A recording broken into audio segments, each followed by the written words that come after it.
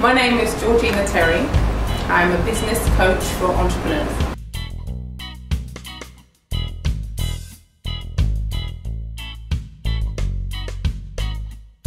I work with um, entrepreneurs, aspiring and established, um, who've been in business say up to five years.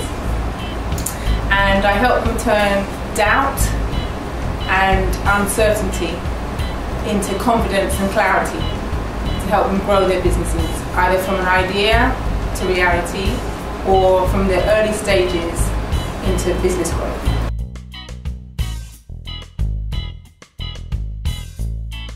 Well, we're working with, um, with clients who wanted to start businesses and they were struggling. And then my own journey. So I've been in business for 17 years and coming over the fear of can I do this, can I be successful, and jumping into the entrepreneurial world, I then realised I'm not too sure what I'm really doing. um, I knew what marketing and sales was from a from an academic perspective. What did it really mean?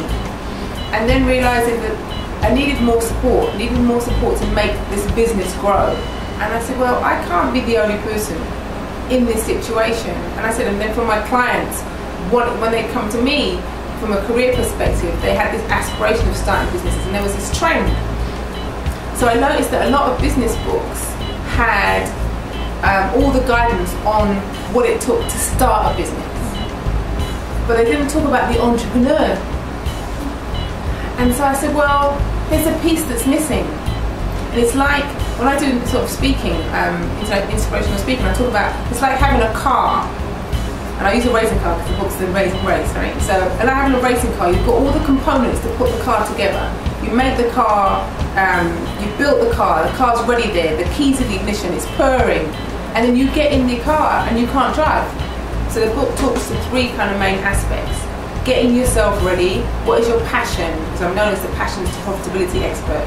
So what is your passion? What is your vision for your entire life, not just the business? What finances do you need to put in place? Things like that. So that's the first part of the book. And the second part of the book is getting the business ready, making the business come. What are the operations? Um, what is the product? Who's your ideal market? And this can be whether you've started a business or already in business. And then the last part is transitioning from employee mindset to entrepreneurial mindset because it's two different ways of thinking.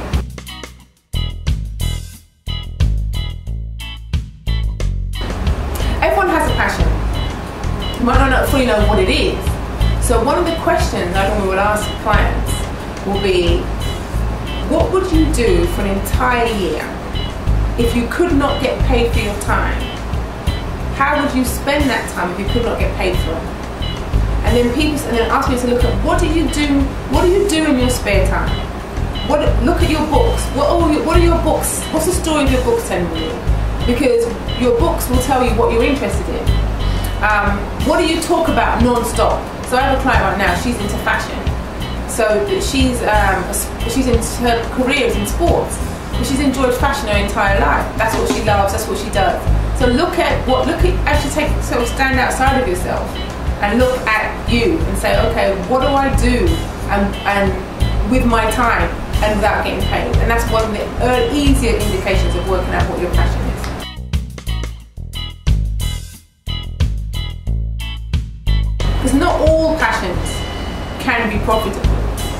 So it's understanding what that passion is and then seeing if people were willing to buy it, to buy what the service is, what the product is. And so canvassing people. So like for example, I had someone who came here before and she did a lot of wedding events.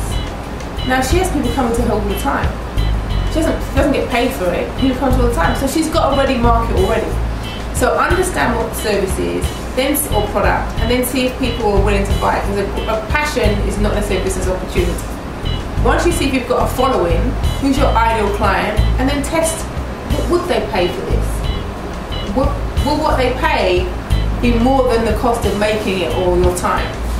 And then from that you can test and see is it viable for a business.